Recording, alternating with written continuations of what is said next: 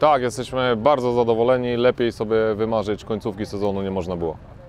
Co było najtrudniejsze? Na początku było najtrudniej dojechać do mety. Na tym rajdzie też nie było łatwo, bo mieliśmy awarie dosyć poważne. Natomiast e, po usunięciu tych awarii na ostatnim odcinku mieliśmy taką frajdę z jazdy, że nie chcieliśmy kończyć. E, Jechało się po prostu przecudownie. Samochód w końcu mógł jechać na czterech kołach, bo na pierwszym odcinku jechaliśmy e, z awariami, najpierw na jednym kapciu, później na drugim. Ostatnie kilkadziesiąt kilometrów dojechaliśmy już na Feldze, teraz jechaliśmy na czterech kołach i było przecudownie, było przefajnie.